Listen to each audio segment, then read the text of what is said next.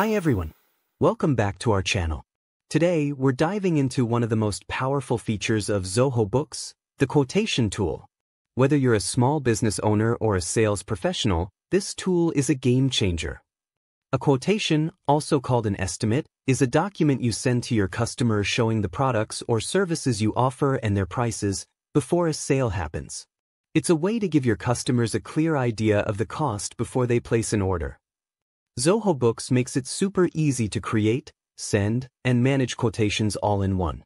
Using the quotation tool in Zoho Books helps you stay professional, respond quickly to inquiries, and close deals faster. Let's see how to create a quotation in Zoho Books.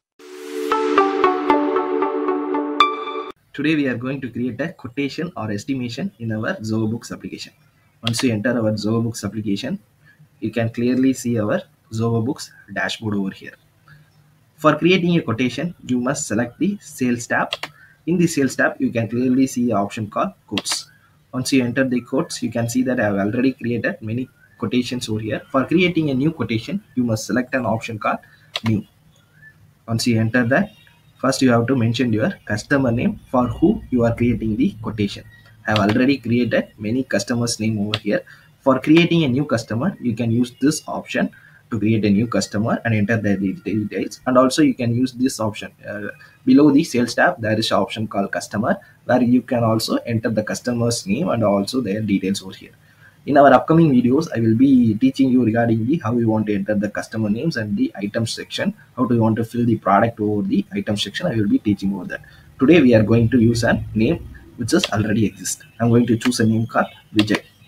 And also we are going to mention the place of supply which is Tamil Nadu.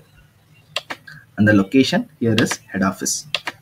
The quotation the quotation number here is 13 we can also manually enter our quotation number. For that you can use enter the quote number manually. We can enter it manually. For a uh, for a recurring basis recurring basis or for an orderly basis we may, can use the continue auto generate quote number. It will be very helpful. Why? Because i have already created 12 quotation now that is the 13th one. So that it will be in an orderly basis in an organization. So that i have chosen an option called continue auto generating code number. So they are going to save it. For quotation date I, it is being mentioned the generation of date where the quotation is generated. Is mentioned as the quotation date. Expiry date. The expiry date i'm going to give it uh, from one week from now onwards.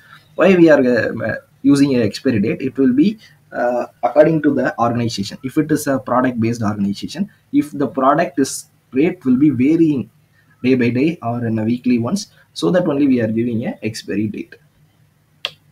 You can also you click the salesperson if any you want to choose. And also subject in the subject section you can mention any of the uh, subject in your quotation.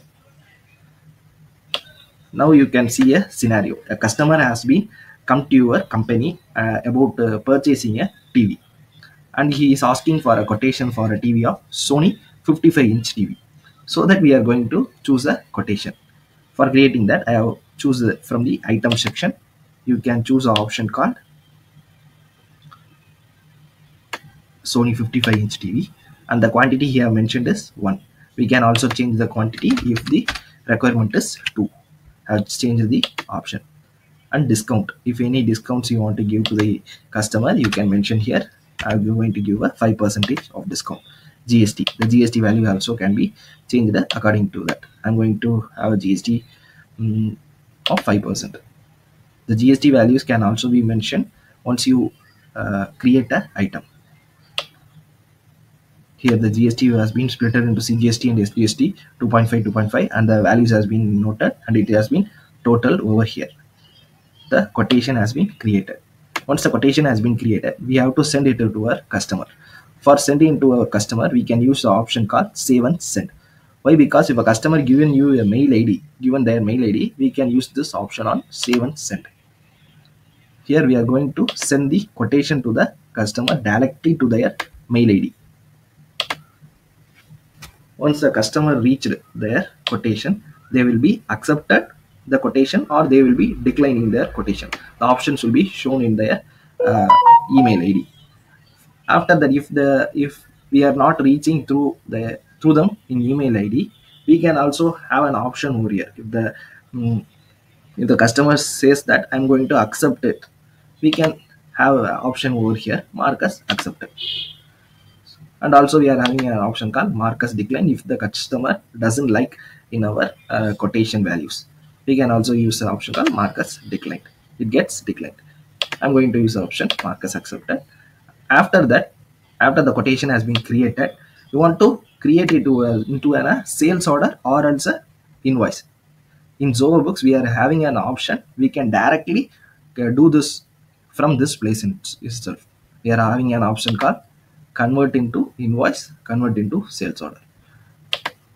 In this way, we have created a quotation today. From our upcoming videos, we will be dealing with many of the tools regarding our Zoho Books.